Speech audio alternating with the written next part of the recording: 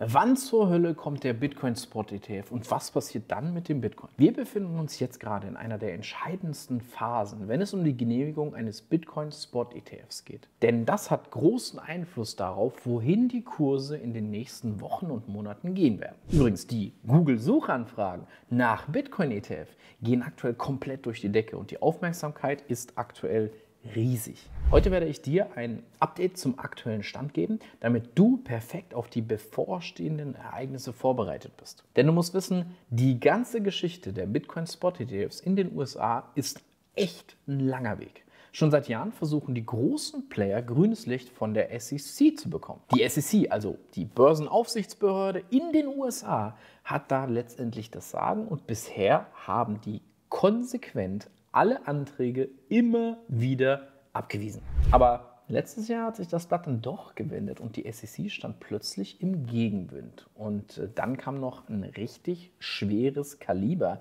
mit ins Spiel und zwar BlackRock. BlackRock ist der größte Vermögensverwalter der Welt und hat riesengroßen Einfluss darauf, wenn es in den USA zum Beispiel um Genehmigungen geht für eben entsprechende ETFs. Und BlackRock hat nicht nur in den USA große Macht, sondern weltweit. Und als ob das jetzt nicht schon genug wäre, haben US-Gerichte letztes Jahr auch noch angefangen, die Entscheidung der SEC, der Börsenaufsichtsbehörde in Amerika, zu hinterfragen. Also, das bringt die Behörde natürlich ordentlich unter Druck und vielleicht eben entsprechend könnte das der Trigger sein, um einen möglichen Bitcoin-Spot-ETF zuzustimmen. Denn damit sieht es jetzt erstmal so aus, als würden die Chancen für eine Genehmigung besser stehen als je zuvor. Aber die große Frage bleibt, wie wahrscheinlich ist es wirklich, dass die Zulassung kommt und könnte das sogar schon diese Woche passieren? Viele haben ja schon den Mittwoch im Blick. Am 5. Januar hat die SEC nämlich einen wichtigen Schritt gemacht und die 19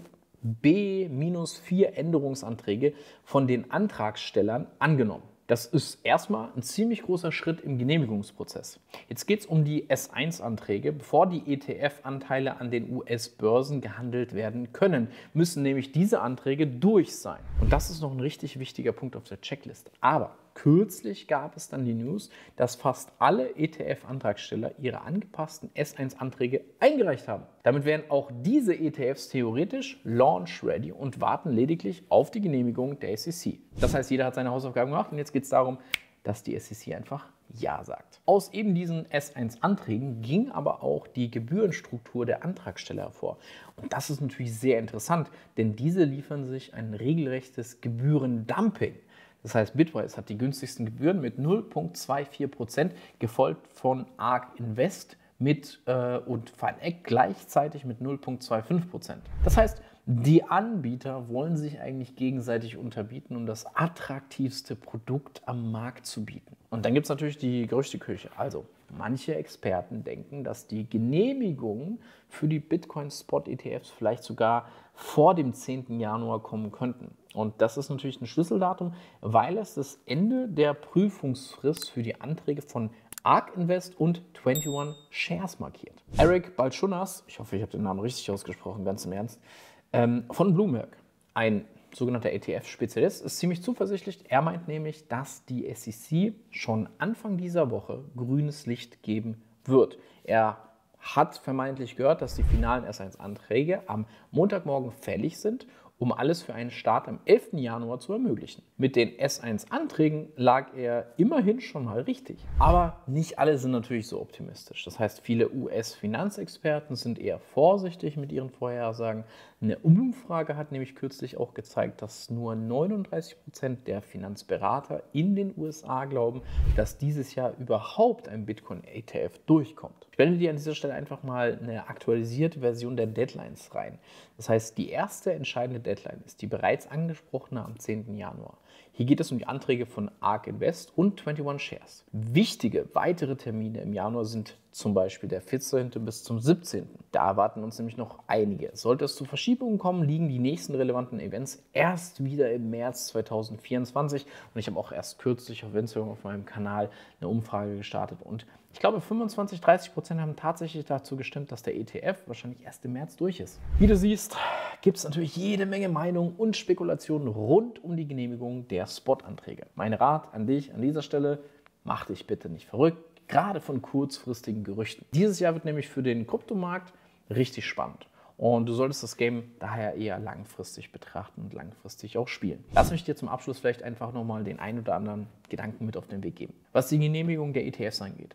Vor ein paar Monaten waren wir uns noch nicht so sicher, ob das Ganze kommt oder nicht. Aber jetzt sieht es ziemlich gut aus und es geht relativ schnell und rasant. Es gab wichtige Änderungen bei den Anträgen, Werbekampagnen, viele Treffen mit der SEC und Insider-Infos. Danach gab es dann natürlich auch die Anstiege nach der Ankündigung, denn wenn die ETFs wirklich genehmigt werden, erwarten wir eine positive Reaktion im Bitcoin-Kurs. Aber denkt bitte auch daran, es wird keinen durchgängigen Anstieg geben. Das heißt, pauschal muss ich ganz einfach an dieser Stelle sagen, es ist richtig viel FOMO im Markt. Die Leute haben Angst, was zu verpassen. Vielleicht ist es berechtigt.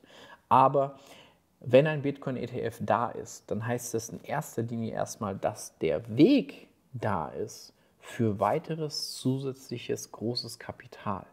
Und das heißt eigentlich, das ist eine sehr, sehr bullische News für eine langfristige Angelegenheit. Kurzfristig vielleicht noch nicht mal, dazu gleich mehr.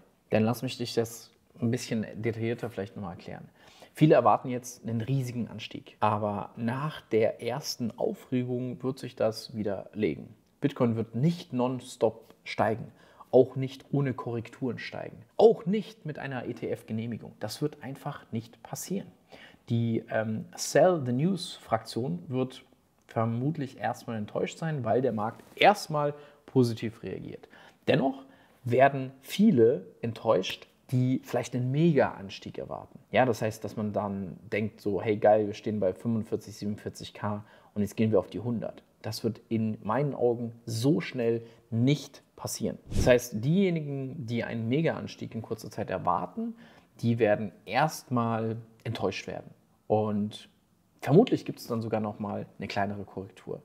Was Altcoins dann betrifft, wird es dann hier vielleicht sogar gerade bei einem Bitcoin-Anstieg, bei einem heftigeren Anstieg sogar größere Korrekturen geben. Oder es kann zu größeren Korrekturen führen. Das heißt, wir werden wahrscheinlich, und ich lehne mich da jetzt so ein bisschen aus dem Fenster, ähm, indem ich vielleicht nicht das tue, was alle tun und berichte über Rekordergebnisse oder 100x. Das ist mir aber auch wurscht bin ich hier, um everybody's darling zu sein. Das heißt, ich kann mir gut vorstellen, dass wir trotzdem nochmal eine Korrektur in die Region von 30.000 bis 35.000 US-Dollar erwarten, was das bullische Szenario, in dem wir uns nach wie vor befinden, aber nicht negiert. Das heißt, ich bleibe trotzdem bullish, auch wenn das passiert. Aber eine Korrektur auf 30 bis 35k wäre niedrig genug, damit bestimmte Menschen wieder verkaufen. Und es wäre aber auch trotzdem hoch genug, damit die Bären den Kauf auch verpassen. Und das wäre erstmal wichtig. Das heißt, versuche jetzt nicht zwangsläufig den Markt kurzfristig zu überlisten, zu timen, Positionen großartig vorher aufzubauen. In solch einem Fall würde ich nicht dazu raten, zu verkaufen, um niedriger wieder einsteigen zu können. Also spiel das Game lieber langfristig, lass dich nicht von kurzfristigen Spekulationen ablenken. Und wenn noch nicht bereits geschehen, dann lass mir an dieser Stelle einfach mal ein Abo da und ein Like, um auf dem Laufenden zu bleiben und natürlich kein weiteres wichtiges Event im Crypto-Space zu verpassen. Ich danke dir vielmals.